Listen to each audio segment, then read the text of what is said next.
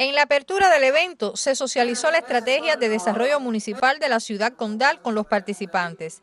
El documento recoge las líneas fundamentales en las que se trabajará para potenciar el desarrollo local con eficiencia, calidad y pertinencia. Se presentaron diversas ponencias y proyectos dirigidos en su mayoría a fortalecer la seguridad alimentaria del territorio jaruqueño con el asesoramiento del Centro Provincial de Gestión para el Desarrollo Local de la Universidad Agraria de La Habana.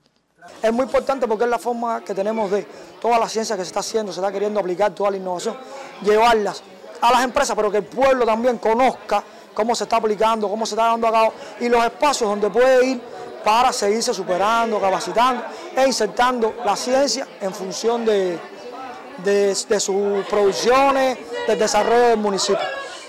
Tras el trabajo en comisiones, se expusieron los principales proyectos que protagonizan las cooperativas, los productores, profesores e investigadores que tributan a la producción de alimentos, la sustitución de importaciones, la informatización de la sociedad, entre otros. En Mayabeque, Orialis Delgado, Sistema Informativo de la Televisión Cubana.